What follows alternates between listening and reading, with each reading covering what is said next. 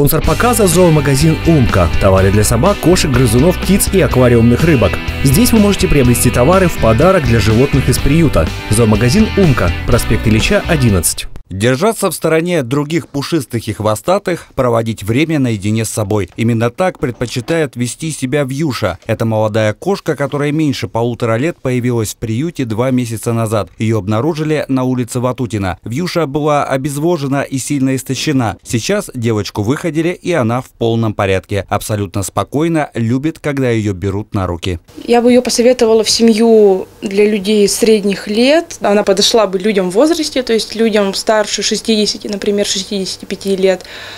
Вот. То есть она не маленький котенок, она, скорее всего, уже как бы не будет бегать, носиться, играть, разносить как бы квартиру. Она такая вот диванная, она ляжет, полежит, помурчит. А этот игривый черно-белый красавчик живет здесь два с половиной года. Неравнодушные люди подобрали травмированного кота на дороге. Его сбила машина. Тогда его почему-то назвали собачьей кличкой Тобик. Как шутят волонтеры, со временем это прозвище стало подходить новому обитателю приюта все больше. И правда, у него хвост закручивается, как у собаки. Забавный котопес с радостью бы обрел своего хозяина, но до сих пор находится под присмотром зоозащитника защитников. У Тобика сахарный диабет, и ему нужен специальный корм. К сожалению, говорю, никто пока не рискнул взять его, поскольку мало людей готовы к тому, что придется измерять сахар раз в полторы-две недели.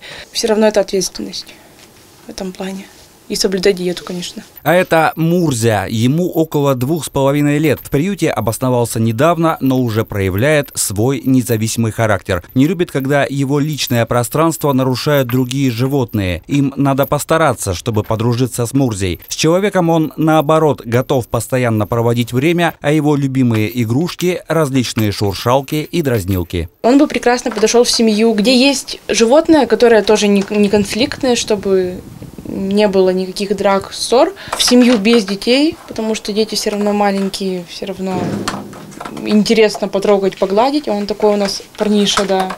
Сейчас в приюте 60 хвостатых, еще 15 на передержках. Все они нуждаются в уютном гнездышке в окружении своих любящих и чутких хозяев.